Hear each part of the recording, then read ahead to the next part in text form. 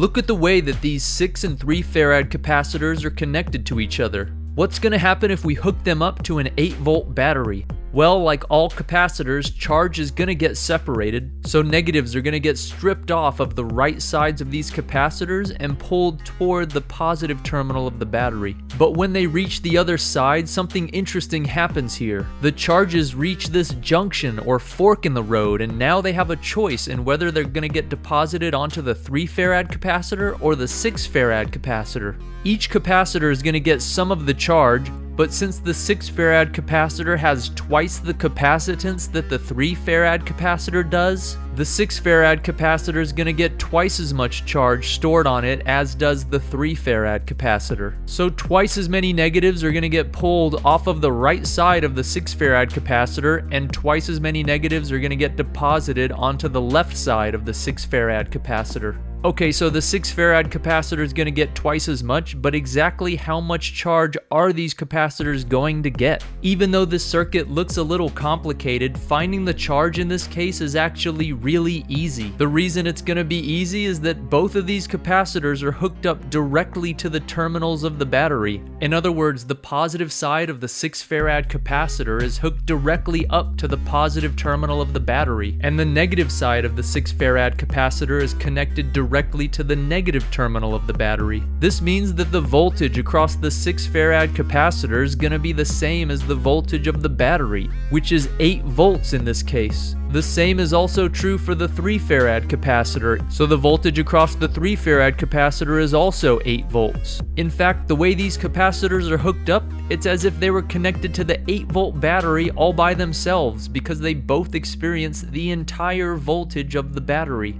Now that we know the voltage across these capacitors, we can use the definition of capacitance to solve for the charge. For the 3 farad capacitor, we can plug in a capacitance of 3 farads and a voltage of 8 volts, and we get that the charge stored on the 3 farad capacitor is 24 coulombs. We can do the same type of calculation for the 6 farad capacitor, we plug in 6 farads and 8 volts and we get the charge on the 6 farad capacitor is 48 coulombs. And see, just like we said, the charge on the 6 farad capacitor is twice as much as the charge on the 3 farad capacitor. We call capacitors hooked up in this way capacitors in parallel. You'll know that two capacitors are hooked up in parallel if their positive sides are directly connected to each other with a wire and their negative sides are also directly connected to each other with a wire. We could ask ourselves now, what should the value be of a single capacitor whose effect on this circuit would be equivalent to that of the individual parallel capacitors?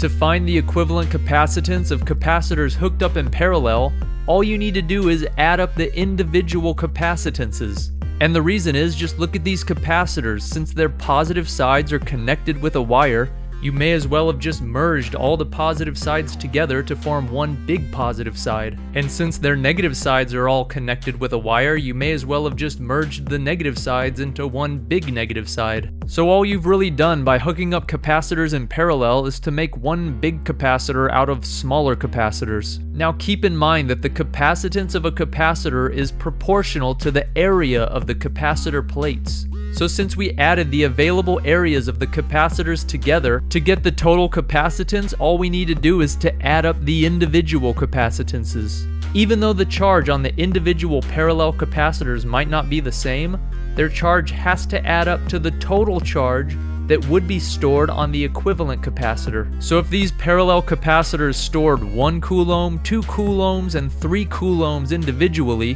their equivalent capacitor would store 6 coulombs. Let's try to apply these ideas to the circuit we just examined in the beginning of this video. The equivalent capacitance of these 6 farad and 3 farad capacitors would be a single 9 farad capacitor. Now let's solve for the amount of charge that this 9 farad equivalent capacitor would store when hooked up to the 8 volt battery.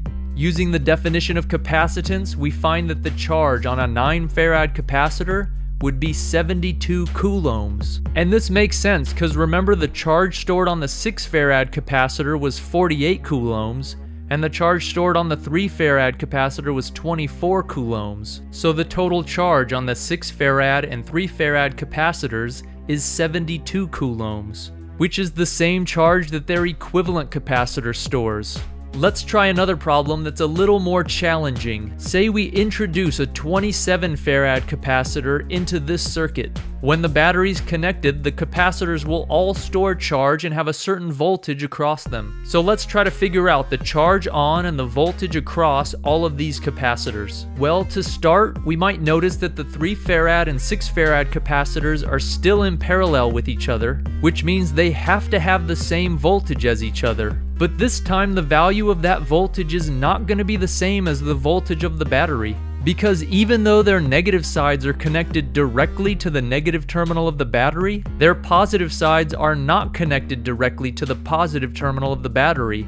This 27 farad capacitor is getting in the way here. Similarly, the voltage across the 27 farad capacitor is also not going to be the same as the voltage of the battery, because even though its positive side is connected directly to the positive terminal of the battery, its negative side is not connected directly to the negative terminal of the battery. So in summary, we don't know the voltage across any of these capacitors, and if we don't know the voltage across any of these individual capacitors, how are we ever going to solve for the charge on these capacitors? Well, the one thing that we do know is that the voltage across the whole circuit is 8 volts. We just don't know the individual voltages across each capacitor. So what we're going to try to do is to replace these individual capacitors with a single equivalent capacitor. To do that, let's start with the 6 farad and 3 farad capacitors because we know those are in parallel. We know they're in parallel because their positive sides are connected directly to each other and their negative sides are connected directly to each other. Using the rule to combine parallel capacitors, we get that the equivalent capacitance of the 3 and 6 farad capacitors is a single 9 farad capacitor. So now we have a 9 farad capacitor and a 27 farad capacitor. These are connected in series because they're hooked up one right after the other. Or in other words, the positive side on one capacitor is connected to the negative side on the other capacitor. We can replace these two capacitors with a single equivalent capacitor by using the formula for adding capacitors in series, which is 1 over the equivalent capacitance equals 1 over C1 plus 1 over C2. So plugging in the values of 9 farads and 27 farads, we get that 1 over the equivalent capacitance equals 0.148148. Don't forget to take 1 over this number to get that the equivalent capacitance is 6.75 farads. So we can replace the 9 farad and 27 farad capacitors with a single 6.75 farad capacitor. Now, finally, we can solve for the charge on this 6.75 farad equivalent capacitor because its positive side is connected directly to the positive terminal of the battery and its negative side is connected directly to the negative terminal of the battery. That means the voltage across this 6.75 farad capacitor is going to be 8 volts. We can use the definition of capacitance and we get that the charge on this 6.75 farad capacitor is 54 coulombs. So since this was the equivalent capacitor for two series capacitors, both of these series capacitors must have the same charge as their equivalent capacitor. So both the 27 farad and 9 farad capacitors have 54 coulombs each stored on them. At this point we can figure out the voltage across these two capacitors. Using the definition of capacitance, we can plug in 27 farads and 54 coulombs to get that the voltage across the 27 farad capacitor is 2 volts. Doing the same type of calculation for the 9 farad capacitor, we get that the voltage across the 9 farad capacitor is 6 volts. Notice that 2 volts and 6 volts adds up to the voltage of the battery 8 volts, just like they have to. And now we can find the charge stored on the individual 3 farad and 6 farad capacitors. We know now that the voltage across both the 3 farad and 6 farad capacitors is going to be 6 volts, because the voltage across the individual capacitors in parallel has to be the same as the voltage across their equivalent capacitor. Now that we know the voltage, we can use the definition of capacitance, and for the 3 farad capacitor, we get that the charge stored is going to be 18 coulombs.